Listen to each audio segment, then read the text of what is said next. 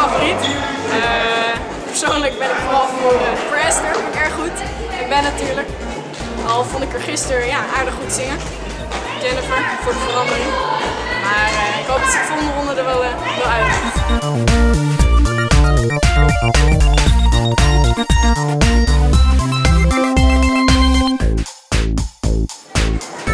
Zeker de smaak te pakken. Ja, inderdaad, ze scoort een nieuwe website.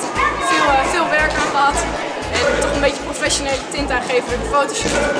En ja, vond ik hartstikke leuk. Visagie zat erbij. En, en lekker gewerkt met Maaike. Was, ik ben erg tevreden eigenlijk met het resultaat.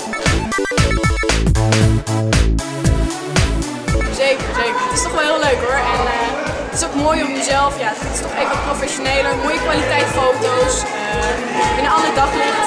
Ik zou toch nog graag van mezelf actiefoto's willen hebben en dan ook mooi en professioneel gefotografeerd. Was al uh, een mooi begin. Ben erg.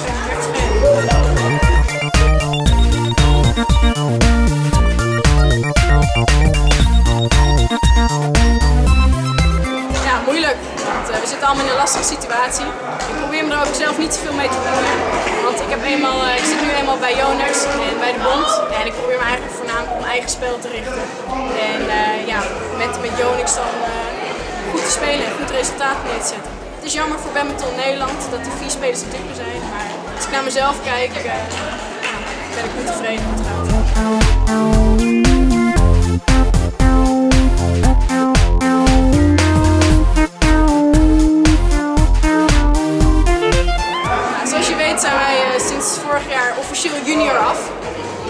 betekenen dat we dan al, uh, ja, eigenlijk sinds we junior waren, al in het Olympisch traject moeten zitten. Want uh, de bedoeling is, je mag pas aan Olympisch spelen als je top 16, top 16 staat.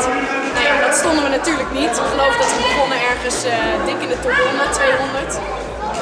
En ja, daarom is gekozen om, om ons niet te selecteren voor dit jaar. Ik denk ook dat het een reële keuze is geweest. Want ik ben er gewoon nog niet aan toe om uh, met Iris en zowel Jacob Super Serie toernooi te gaan spelen. Laat maar eerst maar een paar EBU toernooien winnen. En dan uh, Grand Prix en zo een stapje hoger. En dan zien we wel.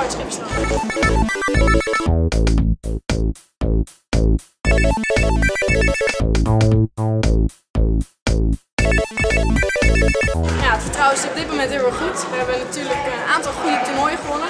Zoals de Slovaakse Open, Tsjechië Open en nu de, Italian Open. Dus ik denk dat het een mooie, streven is om door te bouwen naar 2011. En uh, ja, proberen toch wel richting de top 50, top 40 te gaan eind van het jaar. En wie weet kunnen we voor verrassingen zorgen. Dit uh, eind, eind van de maand een uh, Nederlands.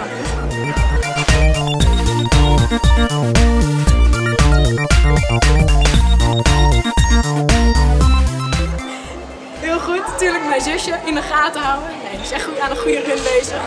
Maar daarnaast vind Chen een erg goede speelster.